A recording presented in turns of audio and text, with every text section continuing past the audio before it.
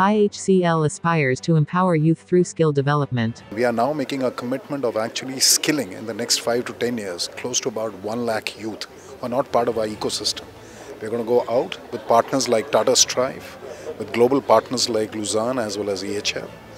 And uh, so we are forging a lot of collaborative partnerships so that we can go ahead and magnify the kind of efforts that we are doing. Our first batch kicks in in the month of June or July this year, where we are actually looking at training 300 people, okay, and this is a hybrid course undertaken by IHCL. They'll be using our premises for training and internship.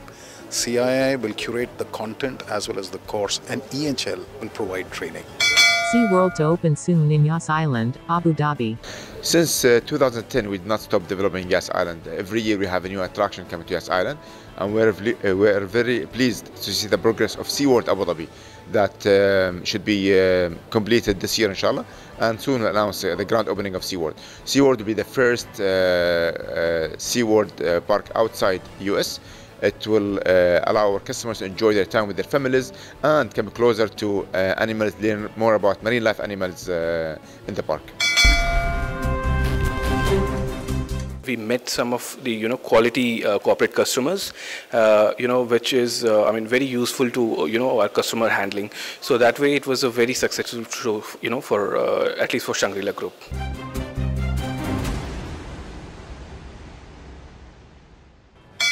Hyatt Centric debuts in Delhi NCR. Next year we will have been 40 years uh, existing in Hyatt. Um, we've grown gradually over that time. We've been very conscious of where we go and where we place these little jewels in the crown as we've populated ourselves through India. We think that Janakpuri is a destination which has a lot to offer around, a lot of local interests which are there, and our guests who are here would be coming to our this wonderful hotel, would be experiencing those